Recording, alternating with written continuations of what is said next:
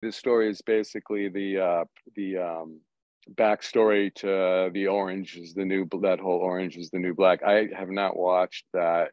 Um, I started to read Piper Kerman's book. I found it sort of a little disingenuous, sort of felt sorry for herself a little much. But no, it's a it's an actual uh, um, event. You know, um, some uh,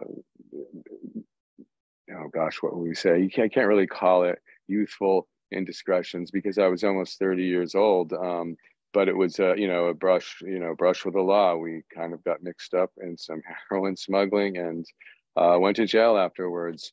And, um, you know, felt, uh, uh, you know, uh, I felt a need to tell this story, um, not just as, as vindication, just as, as explanation. There were other sort of stories floating around in the Chicago Tribune and elsewhere, which really got the story wrong. And I'm just like, okay, I'm not, you know, I'm going to try to tell this story, say what, tell what really happened. And that was a, that was a tough one. Like not unlike the Gospel of Satan, you have this unsympathetic character, and and and I'm an, an unsympathetic character. I'm a you know, criminal in this in this in this um, memoir. And how do I how do I tell that? And how do I you know, uh, and not necessarily gain sympathy, but gain gain the reader's trust. How do I become a reliable narrator?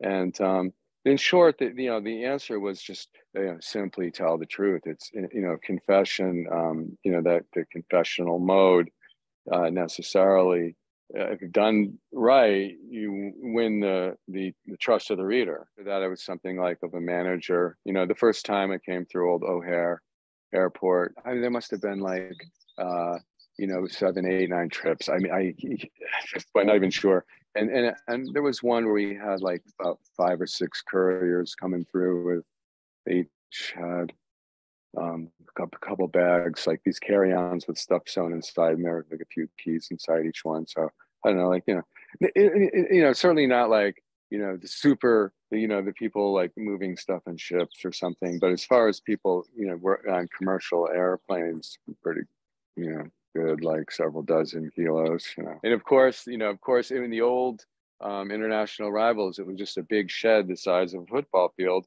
And there's one, uh, there was one customs agent sitting on a stool at the, you know, 100 yards away reading a, a comic book. And there's, you know, three sets of doors.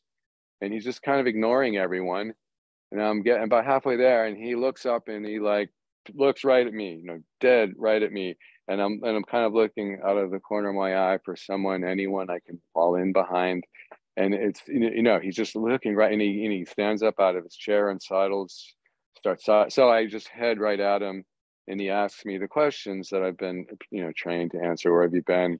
What was the reason for your travel? And I feel like my voice is fluttering up and down, you know, like a parakeet. And he says, "Okay, thank you you know have a nice day you know know enjoy the enjoy rest of your trip. Um, and that, that was i mean after there were some harrowing times we went through uh, singapore um, not realizing at the beginning of the trip that there was a you know death penalty for carrying any drugs to singapore which was um, interesting. Uh, great heroin a great uh, uh, uh adrenaline rush always mean, I was trying to put myself back in that, you know, what it felt like in that emotional space. I mean, ultimately, um, a bag didn't show up, and a whole series of events cascaded. And and I was and and I and I felt some of the the writing about it. I felt some of the panic, and I tried to convey that, um, you know, that sense of time collapsing and telescoping back out, like circling around this um, transit lounge in Zurich looking for this bag that's supposed to be there, that's not supposed to be there, and making the phone call. And they're saying, no, they they said that you you you took it, you picked it up, and I'm like, no, I didn't pick it, you know. And um, this great panic. I mean, I wrote, I think I wrote about it. It took me a, a number of years. I mean, it went through a screenplay iteration, and then it finally became uh, this, as I say, um, this novel. And um, yeah, certainly I felt some of the, it, there was like a, you know, remove of 10 years, um, you know, so it wasn't, it wasn't raw, but I mean, I could certainly slip back into that, um, you know, that, that mindset. Basically, um, I, you know, friend, how, how does anything happen? A friend of a friend's sister um, you know, happened to be involved probably like in some light, you know, heroin use in Chicago and her like Nigerian suppliers were like, hey, you know, we, you know, you want to make some money. Uh, we, we always need white people to get it back in to the country. So this friend's sister was working as a heroin smuggler for a Nigerian, uh, uh, you know, uh, kingpin. And um, we were quickly introduced and, and started working for him. Um, you know, just basically taking bags from, you know, simple, simple. Somebody once described to me as it's, you know, it's not, it's not complicated. You take the bag, you bring it, and you drop it off, and you're, you're done. From from Southeast Asia and Africa into Europe, um, and Chicago, and uh, of course, in the end, everything went, you know, south, and everybody got busted, and everybody um, testified against one another, and everyone went to jail, and and everyone got out and has had a sort of successful secondary career piper most of all because she wrote the story she you know she was she was a late entry into the game and really just kind of moved some money around but she wrote about her um, her incarceration in a women's federal prison in connecticut at one year kind of a skid bid but it's an inherently sexy story you know lesbians and in lockup everyone wants to read about that and nigerians don't have the um, sort of centralized um, like uh, you know structure that South American cartel has. They're generally more um, decentered. So I found out later um, that there was sort of one family that was involved in picking the stuff up in Southeast Asia. Um, my family, you know, this fellow Alaji um, was involved in um, in uh, in picking it up from that first group and then passing it on to a third group who were, were would then sell it to street gangs in Chicago. So they're really like three different um, groups. And I kind of met them all because, you know, what happened finally was, um, well, as I say, this bag essentially went missing in uh, Zurich airport. And so they, they uh, called me down, they called me to, uh, uh, to Benin, West Africa, right next to Nigeria. It's right where the, it was the cradle of voodoo, um, uh, Benin, like uh, Dahomey and uh, took me into the bush and we went into a little mud hut and I we'd fooled around with the Marabouts before. It was always fun meeting with Alaji. He was a very charismatic, six foot four, jovial, um, wily, uh, uh, you know, African fellow who, a Nigerian, who always told us how much he loved us and so forth. It was all, you know, to you know, we were bound together. But I had to like um, take an oath and with the with the marabout, the the witch doctor, you know, in this little hut, and he's tossing cowrie shells in a pan and shaking them and looking at me and drinking African gin and throwing blood around the room, and uh, you know, basically decided that um, you, you, know that I was telling the truth. I don't I don't know if that's exactly how it works in voodoo. That, uh, that I don't know that I was that my my I was that I was correct. Whatever that my you know, um, and uh, so I was you know absolved but I'd met like you know there was uh, you know when and riding out into the bush there was like a caravan of three or four different vehicles with like representatives of every one of the those Nigerian families involved you know from point A to B to C. And uh, so you know all these big shots with gold rings and long white gowns were sitting in you know around around me in the hut when they were doing this little um, voodoo ceremony. Um, and so I, I did get to meet all those guys. Interesting about Alaji was um, this fellow, he, he was, um, he kind of got called out by the US government and um, he got into a, he uh, was elected senator. Uh, he, he, was a you know, you know federal senator, Nigerian senator, and he, he, he got into a power struggle with um, oh gosh, I'm forgetting his name, the former president of Nigeria who kept trying to get the, sick the federal police and extradite him to Chicago. And he and he really he really fought this thing. Um, finally died of COVID. You know, it was like nothing could nobody could nobody could touch this guy. You know, um, and and and finally it was he just one day died dropped out of COVID. I know it's coming. They didn't come and get me uh, for like a year or two because they just take their time about these things and put you know put put the case together and um, they may have even called me to tell me I was a target of an, an, investigation, but I didn't, I wouldn't accept the call. I got just a weird call one night and I was just too terrified. And I'm just like, Uh, no, he's not here. So what happened was they showed up. You know, I'd moved from one place to another to another without really, you know, trying to like. I had a credit card and stuff. Anybody who wanted to find me could find me. And they, you know, and they came and got me in Chicago one morning. That like, you know, the dreaded knock came on the door. Um, you know, and and uh, and that was it. You know, they just you know bid fond adieu to your life as they're you know leading you into a car. Eventually, I wound up in a in a prison camp and like you know Otisville, where like you know Michael Cohen people do their time in in Allenwood. But I was in I was in um, Chicago MCC, which is a pre-trial uh, holding place. It's just like you know cell blocks.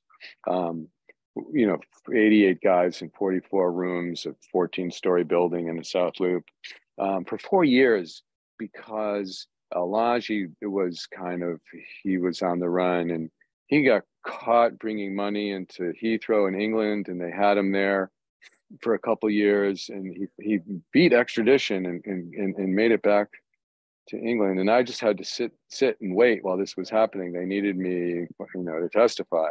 Because as I say, everybody just you know testifies against everybody else because nobody wants to go to jail for 25 years which is what the sentencing guidelines call for.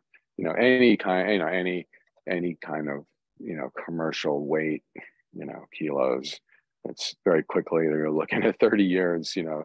It's a very effective uh, system the feds have. I, I don't know what the inciting incident was. I know that this story has been you know, sort of percolating for a long time ever since I was a little kid, um, kind of in awe. You know, you sit in church and there's organ music and high vaulted ceilings and, you know, candles and tinkling bells, and it's all very interesting. And, and a little later, the stories are captivating. And um, I think it was, you know, I, I took, I, I had my difference with some of the theology, I would argue, with my catechism teacher about things like that. I don't know, you know, the Holy Trinity and stuff like this didn't seem um, not unlikely, but just as unnecessary. Um, and, and, and this idea, I, I, mean, I've had this idea in my head for, you know, 30 or 40 years. So I, you know, um, that, um, you know, that Jesus' humanity is certainly more interesting and more instructive than any, any idea of, of you know, Jesus as, you know, God's son. That's, that's too easy. Um, and, uh, um, you know i don't know it may have i, I think it was just it's almost a voice in my head. I had this idea of this arch um, knowing uh, satan character. I, you know maybe i was just hearing those rhythms and i and i decided i wanted to tell that his story and his story quickly became um, you know the the gospels. His story is you know recounting um, his his untold experience with with uh, with jesus.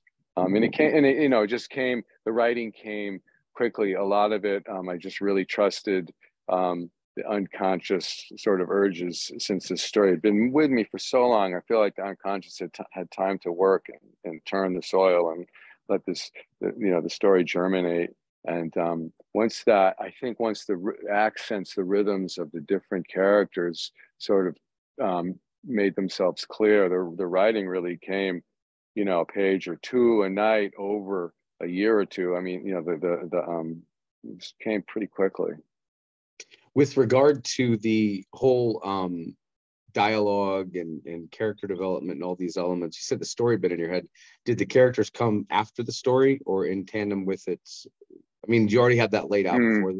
No, I didn't really have it laid out. I mean, I knew um, that I wanted to write a story uh, with Satan as narrator, telling his, you know, telling his story, and um, so he meets a mortal and um, uh, you know just you know bargains for the uh, mortal soul and uh, and, and, the mortal uh, pretty soon asks well you know tell me about tell me about jesus this is what he wants is a down payment you know for his you know more uh, immortal fame or whatnot and uh, and and Satan's like, oh Jesus, Jesus, everyone wants to hear about Jesus. Okay, let me tell you about Jesus.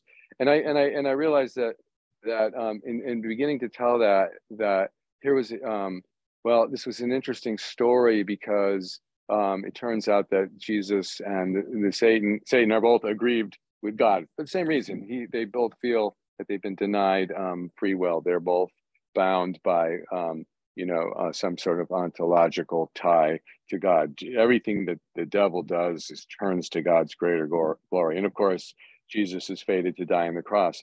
And the, the real the trick to the book then becomes um, how do they arrive at this foretold foregone conclusion sort of by their, their own logic, you know?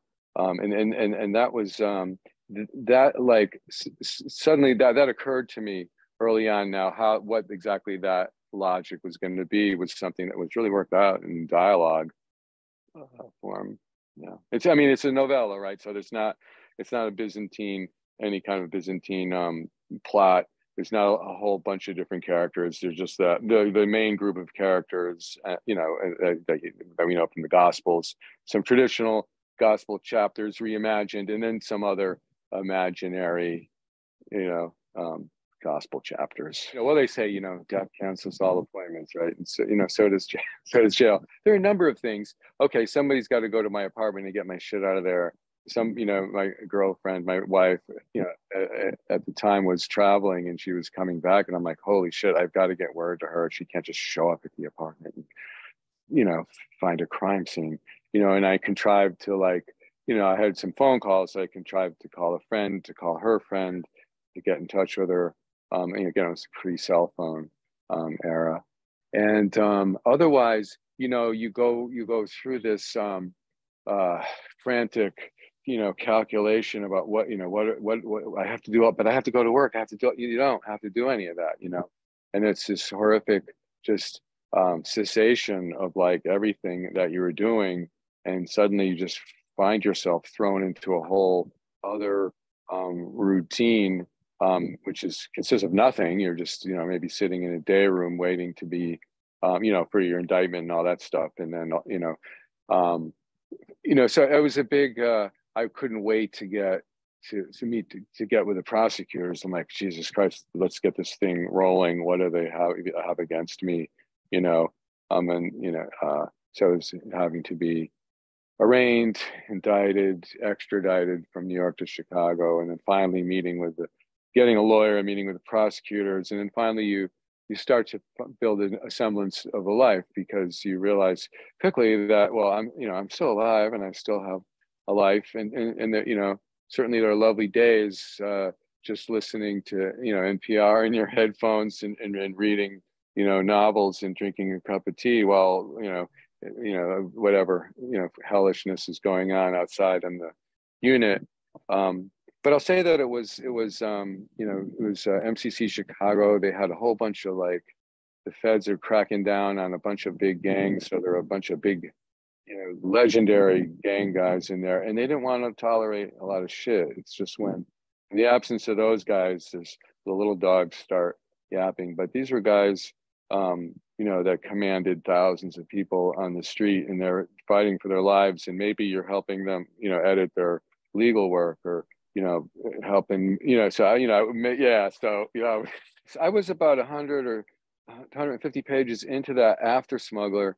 And that's when the, uh, you know, Gospel of Satan arrived unbidden. And I, and I wrote that and I wrote that. Now I'm going back to Sins of Our Fathers, which is, um, you know, they say everybody has a story, right? And this is probably the one, you know, not, I, you know, not you know, everybody gets arrested. So has that story. And um, this is the family story in multi-generational um, uh, you know family saga occasioned by um, my dad coming home from the uh, from the service just boot camp whatever two years in the marines and cl- claiming he found a note on the front door moved you know and his and, and the door is locked and his parents have moved and here he is you know standing there with nothing.